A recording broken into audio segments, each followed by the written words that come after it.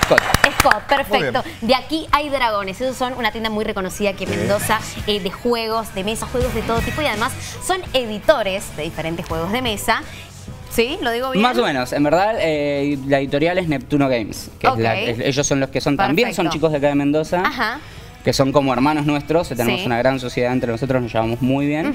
Y como ellos no podían venir, me han pedido que venga yo a contar un Pero poco vos de este participaste juego. en lo que tiene que Sí. ver con este juego de mesa que vamos a, a mostrar a continuación, que es 1812 Argentina, un juego nacionalista, un juego sobre Ajá. nuestra historia, que ya lo estamos viendo allí en pantalla.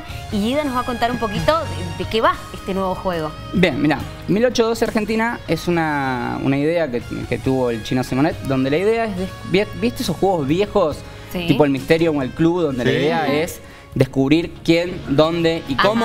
sí, bueno, sí. acá vamos a tener que descubrir quién Sí. estaba con Belgrano, Ah. cómo se conocieron esas personas con Belgrano, qué estaban comiendo y en dónde se Ay, conocieron. Se agrega Claro, este otro excepto del qué estaban comiendo. Me otro- encanta, porque tiene que ver con la creación de la bandera. Entonces, en el momento en el que él crea En la el bandera, momento que él crea la bandera, la idea es descubrir, nosotros como lectores, los jugadores van a ser lectores, hay un jugador que va a ser el narrador, que tiene que tratar de hacer que los demás, los que están leyendo este libro, Sí. descubran con quién estaba Belgrano, Claro. en qué situación estaban, qué estaban comiendo y en dónde se ¿Y encontraban. cuáles son las posibilidades? Por ejemplo, ¿quiénes son algunos de los personajes que lo pueden Si bien acompañar? son, son- tenés todos personajes típicos de nuestra historia, o sea, Sí. tenés eh, a, la- a los pueblos orígenes, Ujú. tenés eh, a las damas tipa- a las damas patrias, Ajá. tenés caudillos, tenés encanta. Granaderos, o sea, tenés distintos tipos de personajes y también tenés muchos, tiene todo referencia a lo nuestro, Perfecto. a nuestras comidas típicas, a nuestros lugares, a nuestros lugares de toda la Argentina. Entonces está bastante interesante como, juego. Entonces, Simonet es el creador, pero ustedes le dieron una mano para darle forma Para lo que es la a- editorial, sí, lo que es publicarlo el juego, porque lo había, ya lo había publicado en Francia. Ajá. eh, con Death for Games, que es la- una editorial de allá.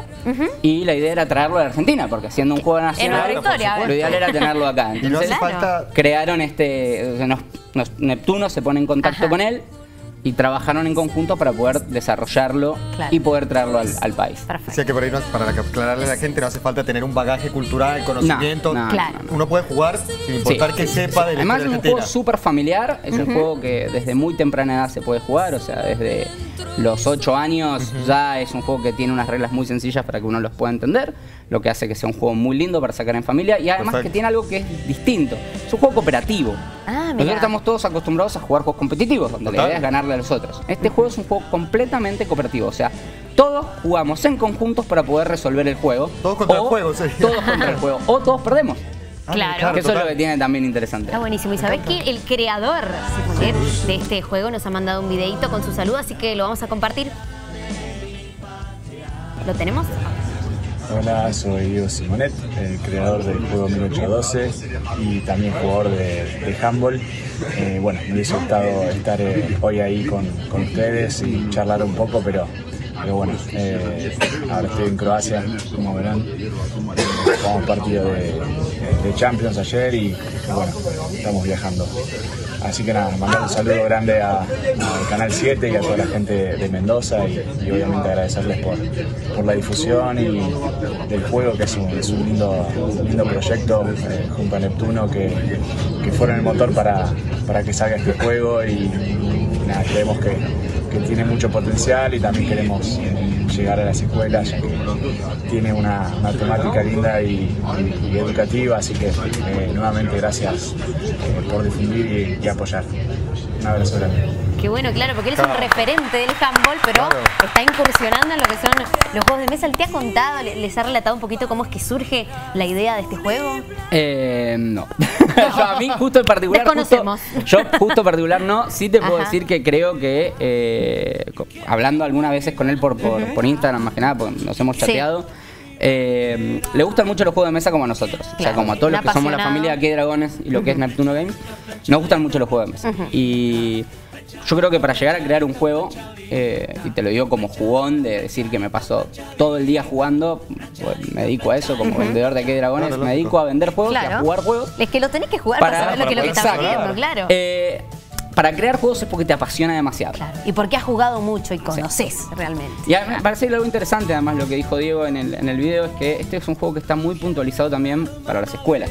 Ajá. O sea, es un- Bueno, un- eso. tiene como un- una cuestión de esto de poder aprovechar e interesar a los chicos de más temprana edad, no solo en los juegos, sino también en la historia nuestra y en la historia de la creación de la bandera. Es que lo cual jugamos a tantas cosas, qué sé yo, el Monopoly con propiedades de Estados Unidos y más. Y está bueno tener algo que, cuente un poquito ¿no? de, de- de lo nuestro. Sí, sí, Es interesante. Es, es muy, además, es muy lindo el juego, es muy sencillo, es muy rápido. Es un juego que dura 20 minutos una partida. Eh, está muy bien planteado como, como juego, los componentes, la verdad que es muy lindo. Y eso también está bueno de Neptuno, que hace juegos de calidad que vos decís, che, parece un juego hecho afuera. No Claro. parece un juego, Ajá, y es un juego hecho acá en Argentina. O sea, Claro. es un juego que está producido acá. Estamos a la altura, Con lógico. todas, con, en una fábrica argentina, que lo que hace que sea realmente muy lindo, porque vos lo ves la calidad, le ves las cartas, la tocás, la textura, el cartón, está la caja que es muy durita, buena calidad. Y es buena la calidad, o sea que eso también está bueno. ¿Sabes qué? Bueno, estábamos haciendo esas imágenes porque lo tenemos aquí el jueves hasta Dani esperándolo Jugando. a Guido, eh, que, que va a ir con esa, la va a acompañar para contarnos bien Claro, cómo se juega, piezas, cómo es. Este, si, si querés, Guido, te, Permiso. te, por sí, supuesto. Venga, Guido, Vaya, te digo que ya lo aprendí y ya lo quiero. O sea, ya me imagino en mi casa jugando Sí. con mi novio que me encantó. Sí, sí, sí, está muy bien el juego. Está bueno, muy bueno. ¿Querés explicar de qué va? Sí. de Hacemos qué va el, el Dale. 1082 en Gran Medida. Dale. La idea, como decía, es descubrir Sí. con quién estaba Belgrano, Ajá. en qué situación se conoció con esas personas Bien. Belgrano, qué compartieron, qué comida compartieron y por último, ¿Qué en lugar? qué lugar estaban. Perfecto. Entonces, Bien. nosotros lo que vamos a utilizar son cartas de imágenes como Sí. narradores. Nosotros dos vamos a ser los narradores del juego, de, de- de esta historia. Y ustedes van a van a ser los lectores Perfecto. y tienen que adivinar cuáles son las imágenes correctas. ¿Querés claro. que nos acerquemos Si allá? quieres, Dale. ningún para problema. que la gente entienda un poquito más lo que tenemos acá, las nosotros cartas. esto ya lo Dale. acomodamos, ustedes tienen que mezclarlo y lo que les va tocando ponen acá, como decía él, las personas, la situación, lo que comieron y el lugar Bien. con los Bien. números eh, hasta el número Sí, cinco. en este caso vamos a jugar el modo más. Número seis, perdón. el modo, tal vez un modo medio, porque el juego tiene distintas dificultades. Claro, acá dificultades sobraron más algunas fáciles, cartitas. Si Claro. tienen dificultades más grandes, eh, la-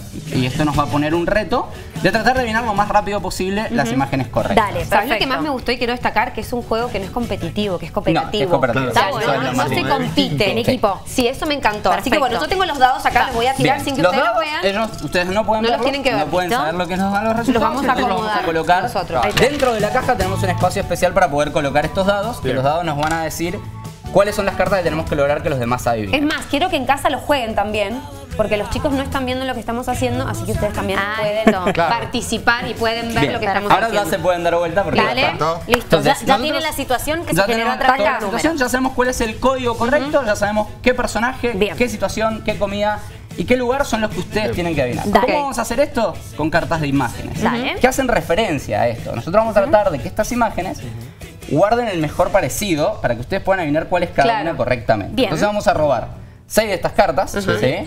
Sí. Seis. Y vamos a ver ahora A ver. cuál es la que nos parece que mejor coincide con cada una de las situaciones que nos han salido. Arrancamos con la categoría personajes. Vamos, en verdad lo que nosotros hacemos es poner cada una acá Bien. al costado. Pero para hacerlo un poco más rápido, Listo, yo les voy a mostrar una imagen y ustedes me tienen que decir a cuál les parece que acerta mejor. Dale. A ver, Bien. Empecemos entonces con esta, con la Dale, primera, empezamos con que la es de el lugar. todo, que es el lugar. Es Vamos el a lugar. buscar alguna, A justo nos tocaron unas cartas medio difíciles. Yo te digo lo que, lo que, Dale, lo que a ver, yo ¿cuál te elegiría. parecería, cuál te parecería que sería mejor? Eh, para mí sería, elegiría esa. Esta acá. Sí, ¿qué, nosotros ¿a vos qué poner- decís? ¿Qué decís? Yo creo que vamos a probar. Sí, Vamos a probar. Vamos a poner ese que es el lugar. Bien. Sí, cada uno se pone una tarjeta en cada lugar y a los demás jugadores, a los lectores, Sí. se les entregan estos tokens. Con estos Bien. tokens, o sea, ahora vamos a jugar solo con el lugar. Sí. Tienen que tratar de adivinar cuál es el lugar correcto y seleccionarlo. Bien. Algo importante. Bueno. Los narradores tienen que tener un jugador que sea el que tome la decisión final en el caso de que ustedes tarden demasiado en decir y decir, no, bueno, Ah, ok. vamos a ir por Si no esta, haya acuerdo. mucha duda para que Perfecto. no, no vayan tan Hay siempre un solo narrador. Hay solamente un Nosotros narrador, estamos que dos. somos nosotros en este caso, pero siempre Ok. hay un solo narrador. Ay, qué Dale. difícil. A ver, ¿querés que la muestre ahí a la Dale, cámara una dale, para que la gente? La vamos a mostrar. Ahí a Juan. La carta que nos tocó. Eso. Esa es la está. carta que nos han dejado los chicos, Guido y De, Dani. de referencia para que piensen ¿Cuál cuál, es el lugar correcto? ¿Cuál lugar. es el lugar? Igual vamos a ir ¿qué- poniendo ¿Qué parecido tiene ese? O sea, ¿dónde lo pondrían ustedes de estos seis que están acá de estos Eh, eh, y yo, Luqui, creo que Vamos el otro. de Dale, paso. Vamos por el entiendo. seis, Vamos ¿no? ahora con, con este, Esta, con la puede comida. ser, o esta. La por el comida. la comida tocó... Ah, ok, a ver. Puede Sí, ser, sí, es verdad. Mm, pero vamos a poner este. un paisaje más parecido al norte. Vamos por esa. Vamos, con Vamos ahora con- ya tenemos el lugar. Bien, bien, ya Ponele- tiene el lugar. el vamos toque, le tiene que poner Cualquiera. Sí. Poner- no, el toque No, es el lugar. Fíjate que cada uno Claro. tiene referencia Perdón. a su coso cortado. Vamos ahora con, con La con situación. La situación, a ver cuál La es situación es esa que está ahí. ¿Y podemos ir viendo la otra o no? Sí, pueden ir viendo la Listo. otra. Dale, Dale, la elemento. Te situación. muestro en cámara Difícil, uno. vamos a ir Me por voy a ir a- ahí. me voy a ir al lado la Yo mejor. confío, confío en vos. Dale. Con esta. Y vamos ahora con las Y vamos personas. con la la carta que nos Vamos a sacar la tocó. última. ¿Por qué vamos a usar saca- este. ¿Por qué De sacaste? objeto. Porque es Verduras, frutas, hay mucho lío. Ah, ¿se puede? La, la idea es que vos, si bien empezás con seis cartas en tu mano, Ok, yo le estoy preguntando a él por qué de repente él, con las cartas que ya había sacado, saca más de este la, montoncito. la idea para poder hacerlo un poco más fácil, Sí. eh, porque la idea del juego es que vos, con las seis que tenés, Sí. tenés que poner las cuatro cartas en el De momento y arreglarte con esas seis. Bien. En el caso de que ninguna te sirva, Ajá. puedes utilizar en el modo fácil del juego esta La escarapela, para descartarla. La escarapela la sacamos del juego y robamos una cantidad de cartas nuevas y descartamos. Ah, genial, perfecto. A mí me gusta como una alternativa de juego, a medida que voy usando una carta, reponer una carta porque me da más posibilidades. Más chances de poder más- elegir. De poder elegir. No sé si lo dijiste ya, pero te lo vuelvo a repetir. ¿A partir de, de qué edad A pueden partir de jugar? los 8 años. Ah, bien. O sea, eso, es lo que tiene muy pena. A partir Claro. de los 8 años, que eso también hace que sea muy fácil poder en Se escuelas. Eso también No, hace que sea muy interesante el juego. De Me acuerdo. encanta, ¿no? Te- la imaginación y todo, está buenísimo. A ver, Bien. Esta. Bien, ¿cuál les queda? Les quedan estos dos, les quedan Situación. situación y persona. Situación. Ay, chicos, es re difícil. Parece, parece. Pasa que es difícil están elegir la haciendo? ¿La guillotina es eso? No. No, qué miedo. No, están, lavando, están haciendo papeles, es Ah. una imprenta. Una imprenta y este está con el ¿Y serrucho. será, mira? Acá, como para reja cortar las esto? rejas. Sí, me da esa sensación. Estamos haciendo asociación libre. ¿Está bien? Está fantástico, esa es la idea ¿Cuál es la de que corresponde a cada situación? La situación es la azul. La azul. Acá, mira, Ah, están perdón, puestos claro. acá en el costado. ¿Hasta Bien. cuántas personas pueden jugar? No tiene un No límite de de Si bien la caja recomienda hasta 7, fantasmín. siendo un narrador y También 6 fantasma. lectores, Pero que mira la cara que tiene. no tiene un límite de jugadores, pueden ser más jugadores libremente. Eso te permite jugar con toda la familia sin Está ningún buenísimo, problema. me encantó. Y eso también está bueno para las escuelas porque si tenés 40 chicos en un curso, podés jugar con los 40 No, chicos. y pueden debatir. en- A ver. Bien. Entonces ahora lo que nosotros vamos a hacer Sí, es chequear sus sí, ok. respuestas Ok, y vamos a ver cuántas han acertado. ok, Sin decirles nada más que cuántas han acertado. ok. Entonces, en este caso, vamos Sí. a ver que tienen tiki tiki tiki y vamos a marcarles que solamente han acertado En dos dos. correctamente. Ay, y no dicen y no les podemos No, decir tienen cuál. que pensar cuáles pueden llegar a ser Ah, las que acertaron. El juego se termina en dos situaciones. Sí. Primero, llegamos a una cantidad de rondas. ¿Sí? Podemos jugar 4, 3, 5, 6, 10 rondas. Eso es elección nuestra. Más rondas, más fácil, más posibilidad de elegirlo. Claro. O que se hayan adivinado correctamente todas las cartas. Claro, ¿sí? Bien. Si llegamos a la última ronda y no se han adivinado las cartas, todos perdemos. Si se han adivinado, ganamos. En este caso, Claro, porque el objetivo de ustedes es que nosotros adivinemos.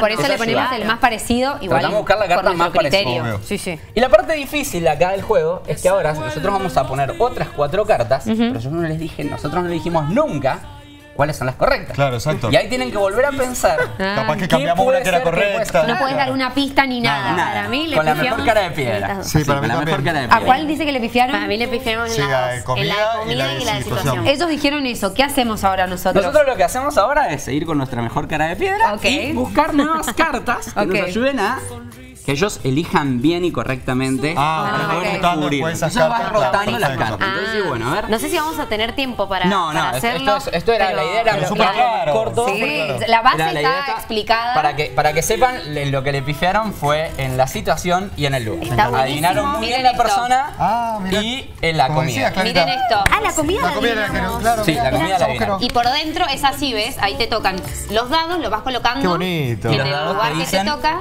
te hacen referencia a cuál es Al número, la columna ¿ves? y a la, la Es carta. muy bueno, es muy Bueno, bueno. bueno. Te dan ganas de jugar y mirá, las ilustraciones son No buenísimas. todas.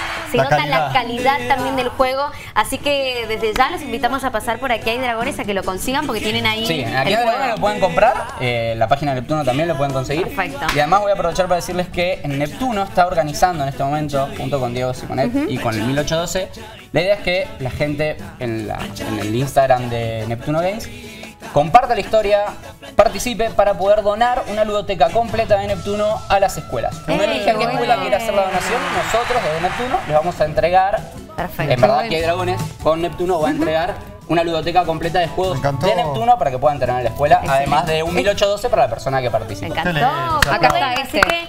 Ya más que invitados a visitar la página de Neptuno Games. También Me aquí encantó. hay dragones para sumarse a esta movida solidaria y también comprar 1812 que está buenísimo Está para genial. jugarlo con toda la familia. Gracias, Guido.